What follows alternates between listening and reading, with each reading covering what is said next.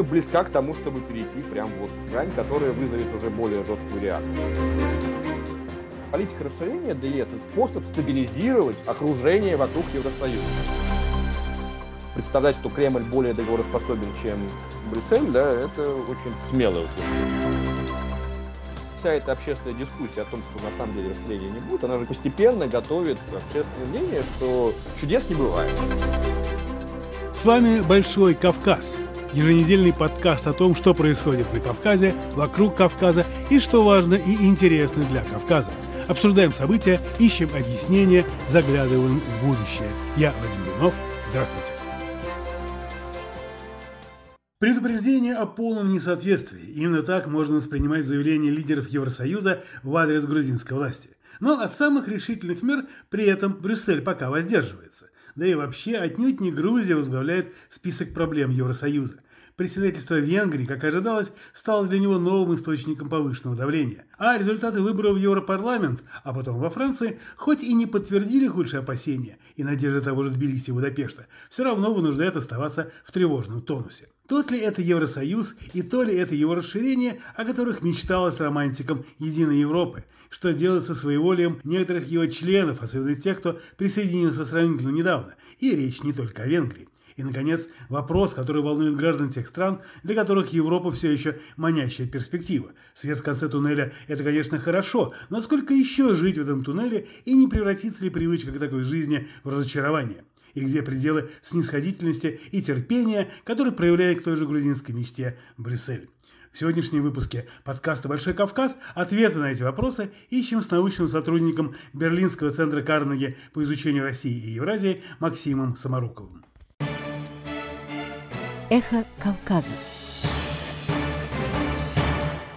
Максим, прежде чем перейти к восточноевропейскому фактору Европе и Евросоюзе, я бы хотел уточнить, а насколько этот восточноевропейский фактор а, действительно а, восточноевропейский. Вот, скажем, та же самая Венгрия, да, которая у всех на слуху. То в какой степени это восточноевропейская история? И в какой степени это уже общеевропейская история, ну вот как там парламентская группа «Патриоты за Европу», которая, в общем, как бы уже вполне себе смешная. Вот как мы можем здесь разделить акценты? Точки зрения Европы, Венгрия перестала быть Восточной Европой вместе с окончанием Холодной войны. И вообще, если в присутствии венгров, поляков, чехов или еще кого-то из этих стран назвать эти страну восточноевропейской, это первая их реакция будет тут же поправить и сказать, что мы центральная Европа. Конечно, Орбан старается быть политиком европейского масштаба и создавать свои союзы и искать каких-то друзей э, в масштабах всей Европы, а не только у себя в регионе. Мало того, все, все его попытки организовать что-то вокруг, там, скажем, вышеградской группы стран, да, из Польши, Чехии, Словакии, Венгрии, они, в общем, закончились довольно печально. При, при, при предыдущем польском правительстве, да, были какие-то дружеские связи, но вместе с началом войны оказалось, что с таким пониманием относиться к позиции России другие страны э, не готовы. Восточная Европа сейчас для Европы – это те страны, которые не в Евросоюзе Евросоюзе. А Орбан это, да, европейский деятель, который пытается возглавить европейское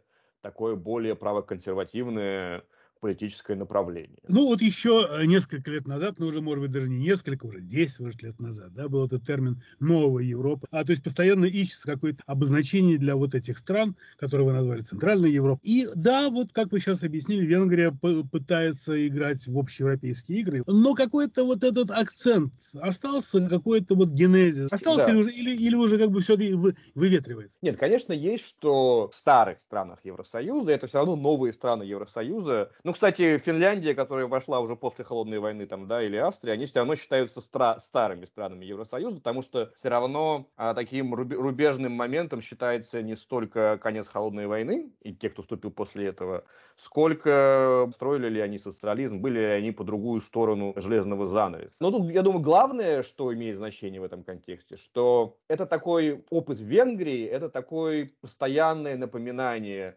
лидерам Западной Европы, что вот мы взяли страну внутрь ЕС без достаточной подготовки и теперь с ней мучаемся. Да? Поэтому нам не нужно повторять подобных ошибок. Ну, есть тенденция, что э, страны, которые вступили уже в этом веке, да, в 21 веке, они считают, что им не додают и не, и не полностью готовы разделять программы ЕС. Там, особенно по некоторым направлениям, типа там, миграционной политики или климатической политики. Ну, в общем, есть там такие чувствительные темы, которые пока вызывают в новых странах ЕС гораздо больше отторжения. Да, и главное, что это же все страны по-прежнему остаются нетто-получателями европейских субсидий. Да? И поэтому у старых стран ЕС неизбежно возникает ощущение, что они имеют какое-то право более строго к ним относиться. Да? Ну, раз вы нет получателей денег, то и ваше мнение не должно иметь столько веса, сколько мнение тех, кто является нетоплательщиками денег. Нет, много противоречий сохраняется, и все и а, далеко не, не, не преодолены, и по-прежнему главный раздел внутри Евросоюза проходит между теми, кто вступил давно и кто вступил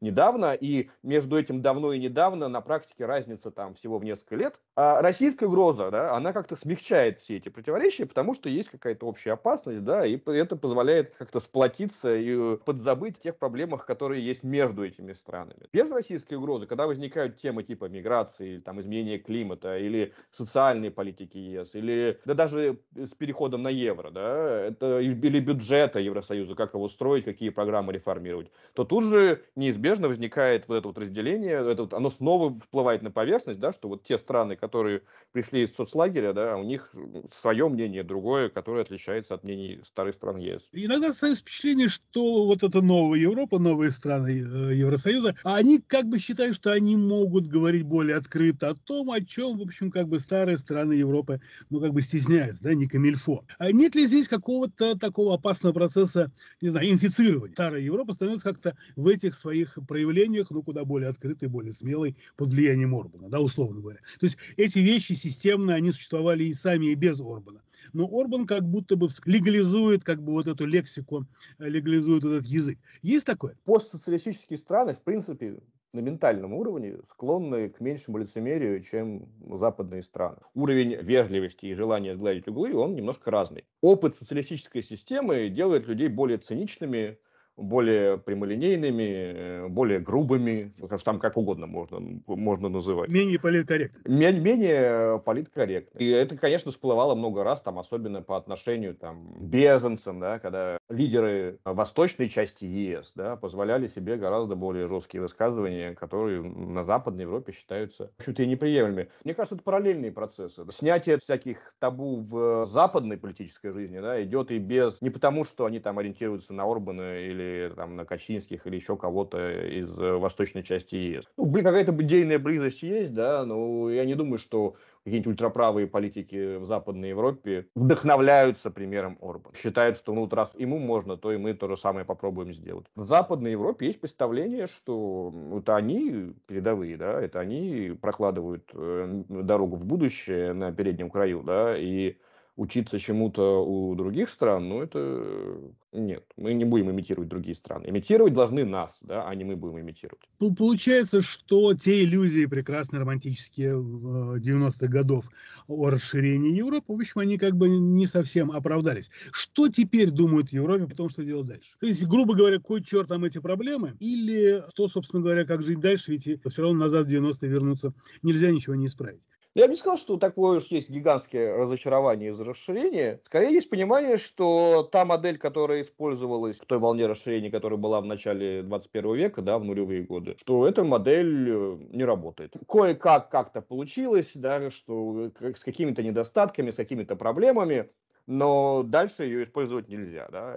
мнение, что мы зря расширялись, надо было все оставить как есть, оно его не назовешь господствующим, да, это довольно маргинальным. Но понимание, что та модель расширения, которая была, и ее надо поменять, что такого расширения по тем же принципам, которые нашло в нулевые, что его больше не будет никогда, оно есть, несомненно. Да? И понятно, что никто не собирается брать новые страны Восточной Европы в состав ЕС, не только без реформ в этих самих странах, да, чтобы они что-то там реформировали и приблизились к стандартам европейским а, но и без пересмотра внутреннего устройства ЕС. Да, что, значит, сначала надо посмотреть, поменять то, как мы принимаем решения в ЕС, а потом уже можно заняться расширением. Да, или даже использовать тему расширения для того, чтобы ускорить какие-то внутриевропейские реформы, да, чтобы добиться какого-то более работоспособной модели организации да, вот, в этом, внутри ЕС. Ну, вот как бы два процесса идут одновременно и противоречат друг другу, если я правильно понимаю. Да? С одной стороны, как вы сказали, а есть мысли о каком-то внутриевро... внутриевропейском реформировании, да,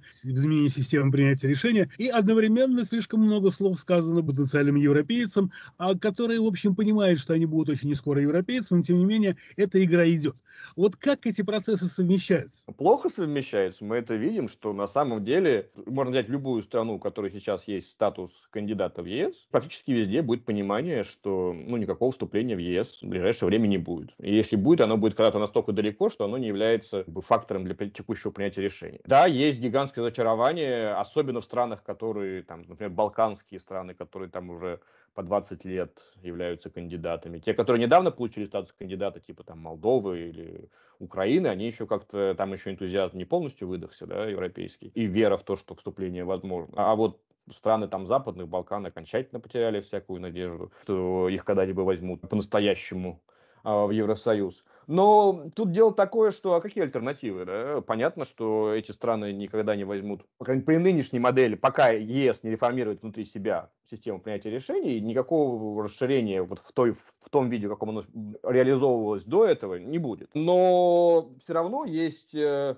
процесс евроинтеграции, он имеет другие позитивные стороны, помимо факта вступления. Да? Процесс евроинтеграции позволяет этим странам ну, как-то проводить реформы с помощью европейской поддержки, получать субсидии э, от э, Евросоюза, пускай не в тех масштабах, в которых получают страны, уже входящие в ЕС, да, но все равно какие-то деньги приходят. Ну, по крайней мере, предложить обществу да, какое-то видение будущего, да, что мы вот делаем мы стремимся стать Европой, да, это понятное какое-то видение. Ну, невозможно сказать, да, что вот, знаете, мы решили, что раз нас в ближайшее время в Евросоюз не возьмут, мы будем делать что-то совершенно другое, да. Возникает вопрос, а что совершенно другое, да? Вот вы, Северная Македония, страна на 2 миллиона человек, без выхода к морю, зажатая между не очень любящими ее Грецией и Болгарией, да, вы, какой у вас план альтернативной европейской интеграции?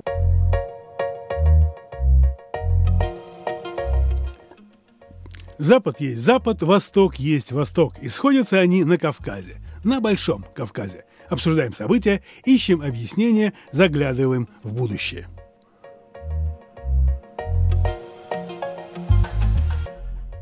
То, что вы сейчас рассказали, это очень идеально про Грузию. Ее не берут, да, вот, а мы будем делать так, как мы хотим. И более того, нашли себе в Европе альтернативный центр, не Брюссель, а Будапешт. Что с этим делать? И здесь надо что делать с Грузией или с Будапештом? Тут э, проблема в том, что слишком э, большое количество обещаний со стороны ЕС неизбежно создает слишком большие ожидания со стороны стран, которые туда хотят вступить. При этом Конечно, отчасти страны-кандидаты сами вчитывают в эти обещания больше, чем в них содержатся. Все-таки лидеры ЕС стараются довольно при общем таком энтузиазме, желании говорить вежливые приятные вещи, они все равно формулируют эти вежливые приятные вещи довольно осторожно. И когда они говорят, что мы готовы поддержать европейские настроения, скажем, да, какие-то в стране, это не то же самое, что очевидно, что мы готовы поддержать вступление страны в ЕС. Оно очень часто в странах кандидатах любое там обещание поддержки читают как поддержку их вот прям скорейшего в течение буквально нескольких месяцев вступления в ЕС.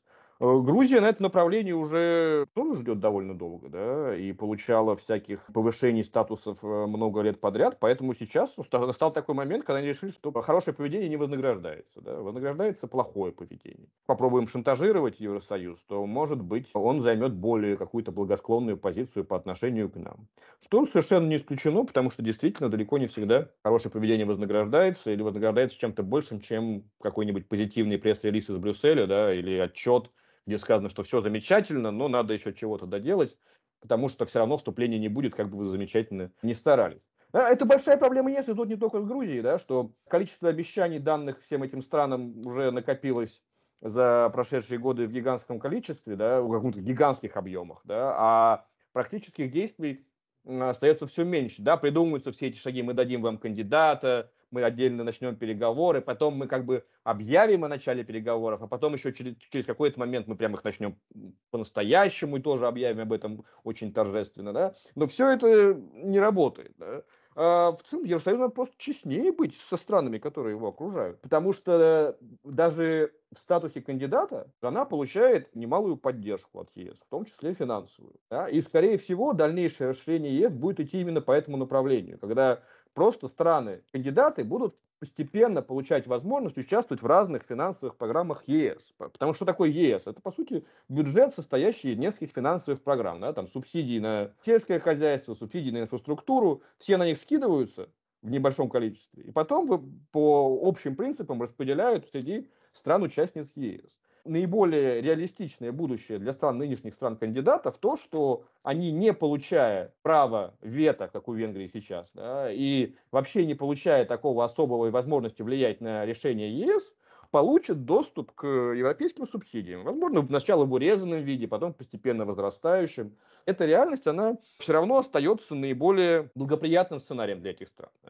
никаких альтернативных предложений им не поступает. Нет никаких других альтернативных центров силы, которые готовы им предложить что-то более интересное и более полезное для их э, развития. Ну вот да, конечно, Евросоюз злоупотребляет позитивной риторикой и очень любит порождать э, завышенные ожидания ну, другого Евросоюза у нас для вас нет. Да? Попытка найти, вот как вы говорите, альтернативный центр в Будапеште, а что должен, готов предложить этот альтернативный центр? Максимум, что может предложить Венгрия, странам-кандидатам, это ее вето на попытку ввести, скажем, санкции против стран-кандидатов. Венгрия может, вот, например, если дело дойдет до того, что в нынешнем таком расхождении между грузинским руководством и ЕС, ЕС попытается использовать против Грузии, ввести против Грузии санкции, да, то Венгрия может, как страна ЕС, может наложить на это решение вето. И не только Грузия этим пользуется, но и на Балканах многие лидеры тоже пытаются наладить отношения с Орбаном, именно с прицелом на то, что, если что, он может заблокировать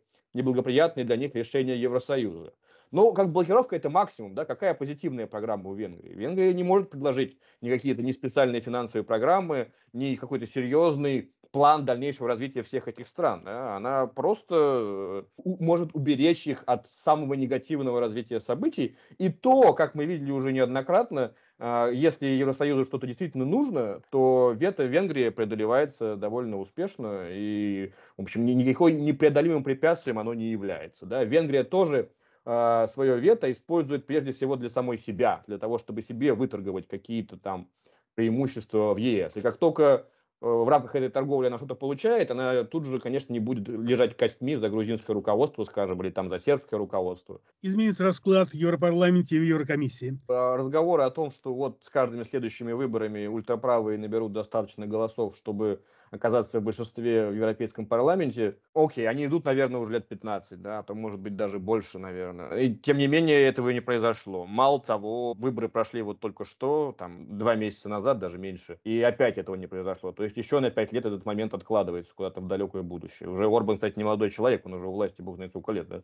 Мало того, ну, Европейский парламент, это, конечно, все очень мило, но состав комиссии формирует не Европейский парламент. Европейский парламент его только одобряет. Состав Европейской комиссии формируют лидеры крупнейших государств ЕС в консультациях со странами поменьше. И тут э, путь смены курса ЕС через э, Европейский институт, э, мне кажется, тупиковым. Да? То есть там такое количество сдержек и процедурных моментов, которые, в общем, э, такую вероятность исключают. Нет, вот если ну, в Германии к власти придут ультраправые, вот тогда это будет уже другой разговор. В Франции придут ультраправые. Я, а если в Германии и Франции одновременно да, придут ультраправые, вот тогда комиссия может выглядеть совершенно по-другому. А то, что на выборах в Европарламент кто-то выиграет, ну, выиграет и выиграет. Вон во Франции постоянно выигрывает э, Марин Ле Пен выборы в Европарламент.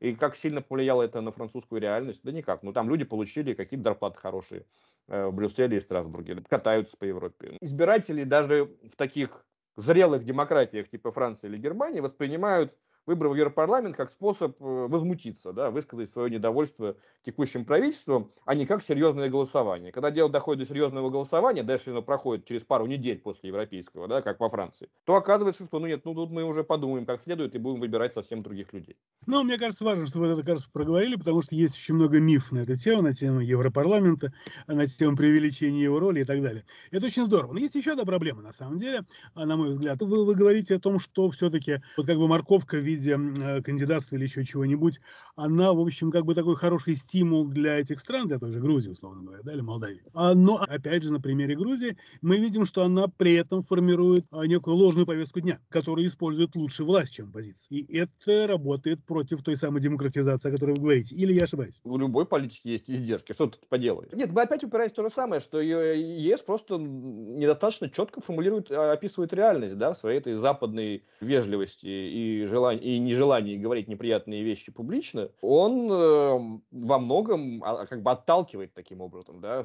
страны, которые даже там пытаются чего-то делать, пытаются всерьез там инвестируют в то, чтобы двигаться. Дело в том, что Евросоюз безальтернативен. Никто пока не, не выступил. Даже попытка там такой, в общем-то, не последней страны, как Великобритания, существовать отдельно от Евросоюза, привела ну, к последствиям таким, что сейчас по опросам большинство британцев сожалеет, что они вышли из ЕС. Да, у ЕС полно недостатков, но собственно, а кто, кто готов предложить этим странам другие, другие варианты? Да? Кто, кто, кто, кто готов им предложить что-то более интересное, чем предлагает им ЕС. Ну, нету каких-то таких желающих. Даже те самые нынешние, там, какой-нибудь Венгрии, если посмотреть опросы, все равно никому в голову не... То есть там под 80% а населения по-прежнему выступает за то, чтобы оставаться в составе Евросоюза, никуда оттуда не уходить, да, несмотря на всю анти такую евроскептичную риторику Орбана да, на протяжении многих-многих лет. Да. То же самое для кандидатов. Да. Вот эти страны-кандидаты, у них есть какие-то другие варианты?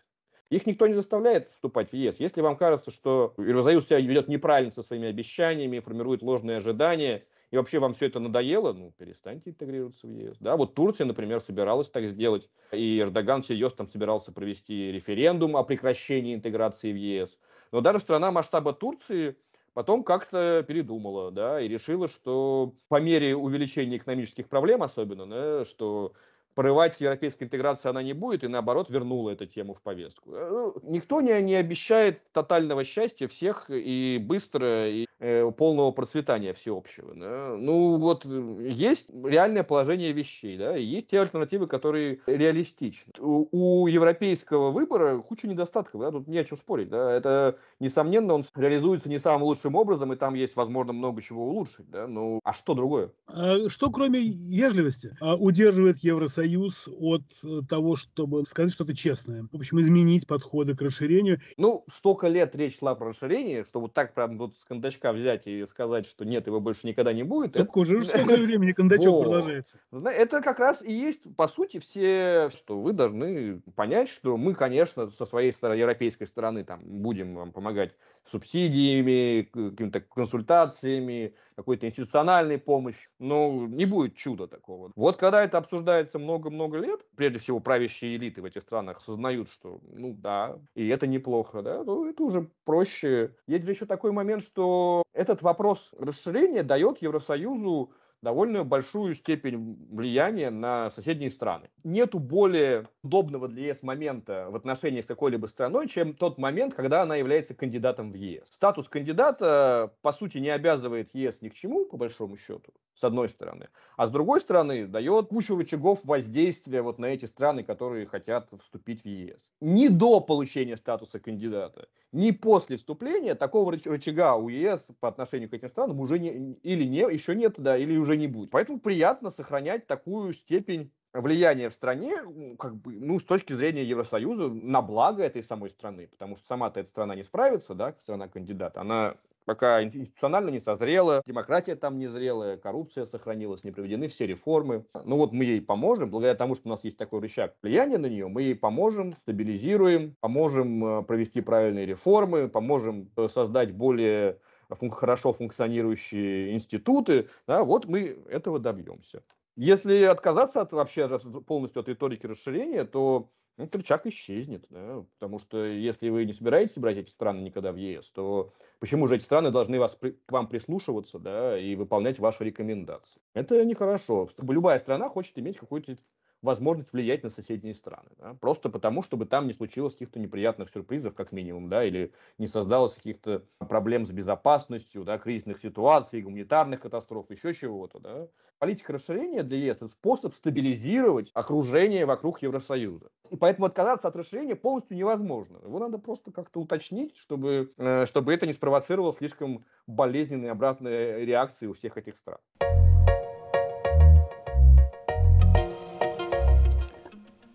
Запад есть Запад, Восток есть Восток. И сходятся они на Кавказе, на Большом Кавказе. Обсуждаем события, ищем объяснения, заглядываем в будущее.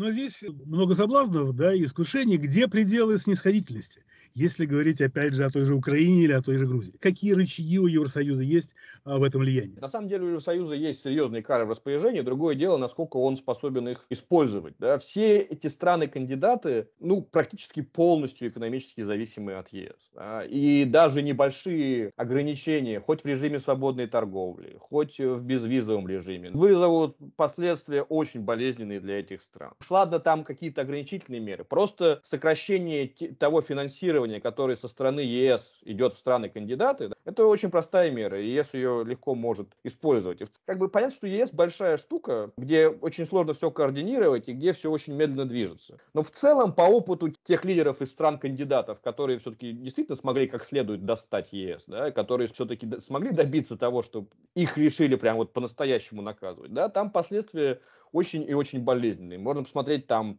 на, на ситуацию с э, Милорадом Додиком в Республике Сербской в Боснии. За последний буквально год ситуация для него очень радикально ухудшилась. Когда ввели реальные санкции, и он не может открыть нигде банковский счет даже в боснийских банках, когда прекратилось финансирование кучи разных проектов инфраструктурных, на которых зарабатывали в том числе и близкие к нему компании. Да?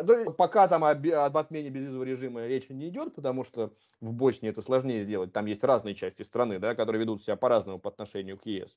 Но в целом даже просто ограничение финансирования создает очень и очень болезненные эффекты для стран-кандидатов. Понятно, что ЕС не может применять это просто в силу своей институциональной громоздкости. Да? Он не может применять это вот так на раз. Да? Вот мы сегодня что-то там решили в Грузии, а мы завтра уже применили санкции. Но в целом, если долго стучаться в эту дверь, то ответ обычно последует. С Зодиком проще, за него, в общем, ну не тот вес, да, с Грузией посложнее будет. Есть же еще, помимо э, реакции на Грузию, есть еще общий контекст, в котором это происходит. И понятно, что сейчас вся институциональная сила ЕС сосредоточена совершенно на других вопросах, а не на Грузии. Да? И если бы все это происходило, скажем, до войны, то, очевидно, реакция была бы гораздо быстрее и гораздо жестче, и вообще было бы не до того. Ну, в целом, мне все равно не кажется, что у Грузии есть какие-то по-настоящему мощные рычаги, чтобы она могла позволить себе настолько откровенно манипулировать ЕС. Тем высказываниям, которые звучат в обсуждениях внешнеполитического курса ЕС, Грузия близка к тому, чтобы перейти прям вот грань, которая вызовет уже более жесткую реакцию. В каком, каком именно виде будет эта реакция, ну, я не знаю. На самом деле, я, опять же, я, я не думаю, что стоит недооценивать возможности ЕС среагировать. Да, он очень медлительный, да, он э, очень инертный. Да, очень часто решения ЕС принимаются исходя не из всех этих разговоров про ценности, а из довольно такого сурового геополитического расчета, да, прагматичного.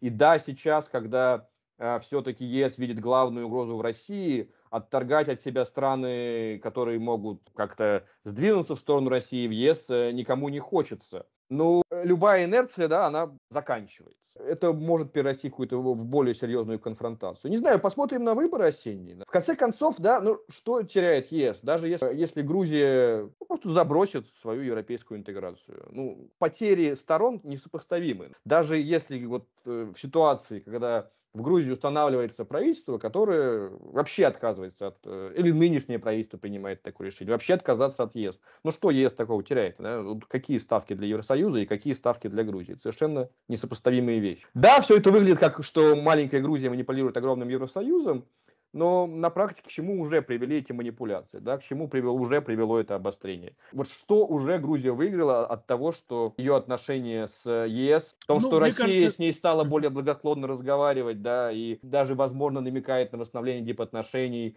и, возможно, даже какой-то разговор про Абхазию и Южную Осетию. Насколько Россия договороспособна и вообще готова выполнять свои подобные намеки, да, это большой вопрос. И, и уж глобальный консервативный узел, он, конечно, не является альтернативным центром, понятно. Но тогда иногда ощущение, что, скажем, Грузия вполне устроила бы нечто похожее на то, а, что делает Азербайджан. Он не идет ни в какой Евросоюз, он является как бы самостоятельным центром вместе с Турцией. Вот. И он не то чтобы манипулирует а, Евросоюзом, но Евросоюзом гораздо более интересен в том качестве, в котором он есть. Грузии, конечно, такого не достичь в силу объективных причин, но тем не менее этот путь явно, мне кажется, а, Грузию при привлекает если говорить не только о Грузии, тех, кто находится в этом безнадежном кандидатстве. А рано или поздно ведь все они могут стать на этот путь и будут искать себе каких-то, ну, не центра, но какие-то какие варианты укрупнения какой-то вот этой блоковости, в которой они будут себя чувствовать не так здорово, как в Евросоюзе, но куда более уверенно в разговоре с ним я тут не вижу возможности как-то напугать Евросоюз своим отказом от евроинтеграции. Да? Если Грузия хочет проводить внешнюю политику такую, как Азербайджан,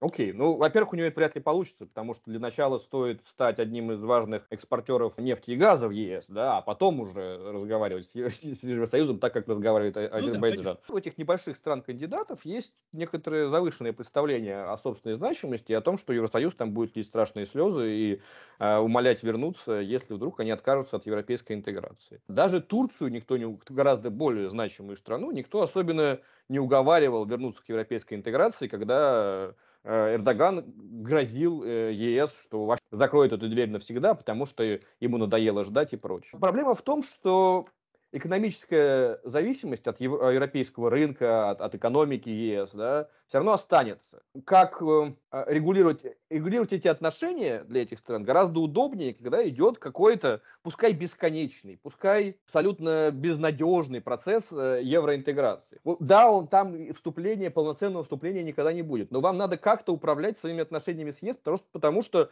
у вас все инвестиции из ЕС, у вас огромная доля во внешней торговле с ЕС, у вас стандарты европейские уже внедрены в куче мест, там, от технических до правовых, да, в самых разных областях.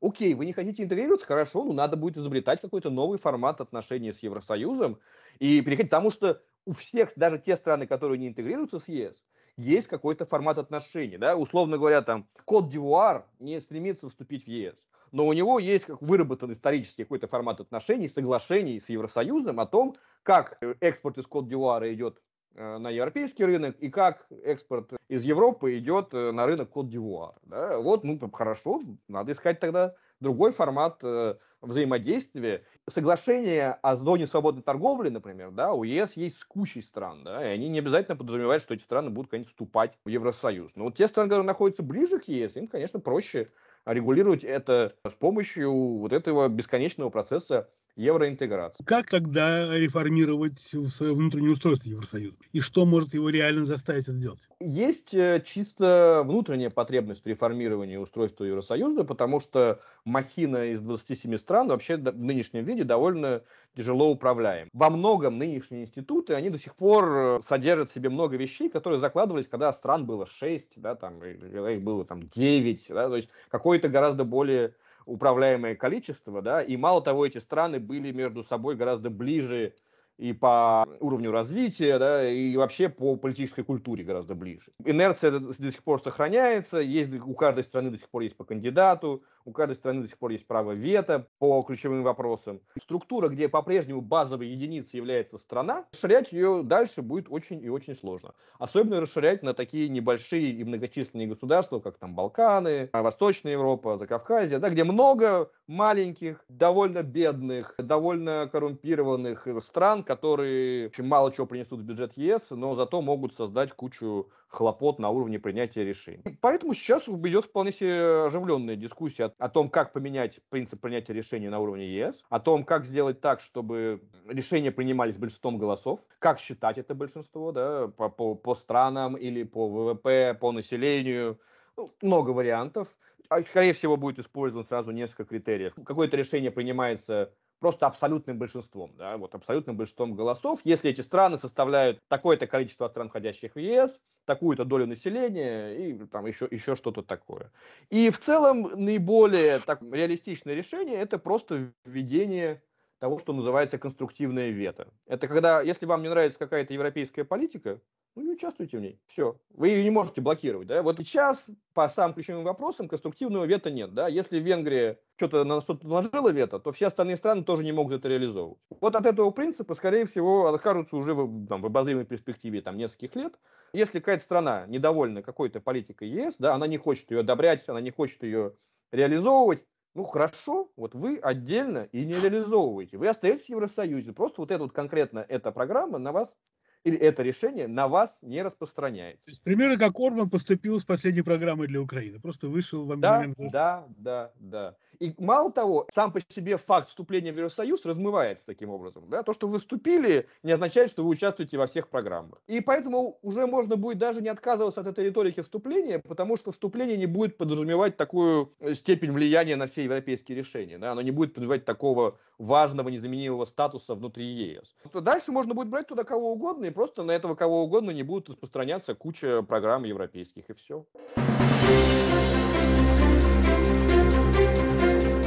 Зачем Грузии Евросоюз? Зачем Евросоюзу Грузии на фоне уже имеющихся у него проблем? В подкасте «Большой Кавказ» мы обсуждали с научным сотрудником Берлинского центра Карнеги по изучению России и Евразии Максимом Саморуковым. С вами был Вадим Гунов. Всего доброго. До встречи через неделю.